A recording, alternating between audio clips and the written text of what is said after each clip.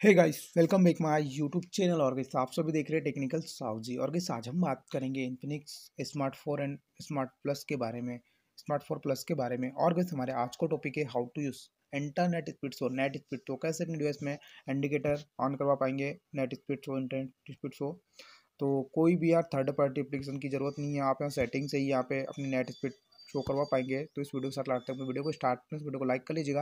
अभी तक हमारे चैनल को सब्सक्राइब नहीं सब्सक्राइब कर लीजिएगा। सेटिंग पे आइएगा, सेटिंग पे आ जाने के बाद देखिए, यहाँ पे आपको फ़र्स्ट ऑल ऑप्शन चल जाएगा, नेटवर्क एंड इंटरनेट पे। इस पर क्लिक कर लीजिएगा तो देखिए यहाँ पे जो ऑप्शन मिलता है आपको, status bar, network, speed, display को क्लिक कर लीजिएगा।